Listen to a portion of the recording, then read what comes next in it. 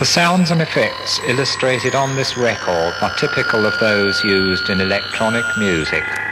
Refer to the accompanying article, then listen to some basic sounds from electronic sources. The pre-echo technique produces an unusual effect. The following rhythm is from a tape loop. Listen carefully to this sound, an example of rhythmic electronic music based on the loop rhythm you have just heard.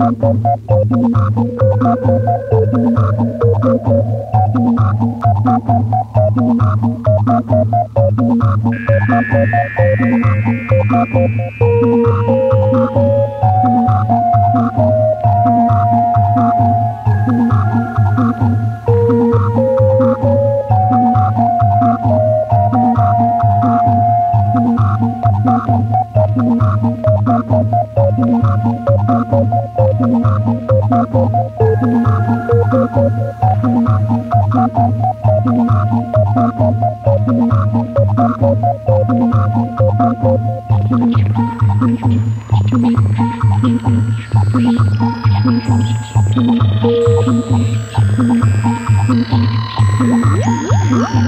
you.